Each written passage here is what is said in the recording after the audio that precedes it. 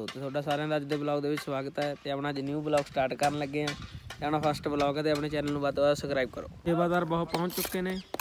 ਖੂਹ ਦੀ ਸੇਵਾ ਚੱਲ ਰਹੀ ਆ। ਸੇਵਾਦਾਰ ਤੇ ਸੇਵਾਦਾਰ ਆਇਆ ਪਿਆ। ਟਿੱਕਾ ਸੇਵਾਦਾਰ ਪਹੁੰਚ ਚੁੱਕੇ ਚਾਚਾ ਜੀ।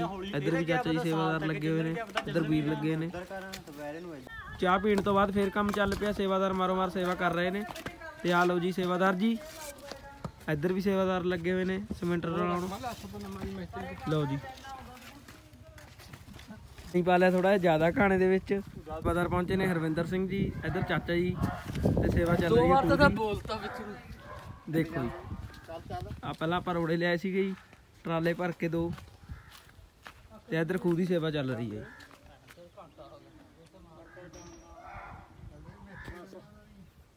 ਇੱਧਰ ਆਪਣੇ ਵੀ ਮਿਸਤਰੀ ਨੇ ਕੁਲਵੀਰ ਸਿੰਘ ਜੀ। ਇਹ ਸਭ ਕੱਢਦੇ ਨੇ ਲੈਵਲ।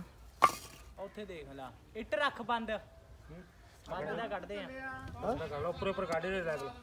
ਇੱਕ ਇੱਟ ਫੜਾਈ। ਇਹ ਲੈਵਲ ਕੱਢਣਾ ਪੈਣਾ ਜੀ ਇਧਰੋਂ ਰਦਾ ਹੋ ਖਤਮ ਹੋ ਗਿਆ ਤੇ ਇਧਰੋਂ ਰਦਾ ਸ਼ੁਰੂ ਹੋ ਗਿਆ।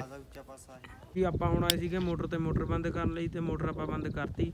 ਤੇ ਹੁਣ ਆਪਾਂ ਚੱਲਦੇ ਆਂ ਫੇਰ ਖੂਹ ਦੀ ਸੇਵਾ ਵੱਲ ਤੇ ਸਾਨੂੰ ਉੱਥੇ ਜਾ ਕੇ ਦਿਖਾਉਣੇ ਆ ਚਲੋ, ਪਹੁੰਚ ਗਿਆ ਖੂਹ ਤੇ ਮੋਟਰ ਬੰਦ ਕਰਕੇ ਤੇ ਹੁਣ ਆਪਾਂ ਨੇ ਜਾਣਾ ਘਰ ਨੂੰ, ਡੈਡੀ ਜੀ ਹੁਣ ਕਹਿੰਦੇ ਲਿਆਓ ਚਾਹ ਕਰ ਤੋਂ ਤੇ ਆਪਾਂ ਹੁਣ ਚੱਲਦੇ ਹਾਂ ਘਰ ਨੂੰ।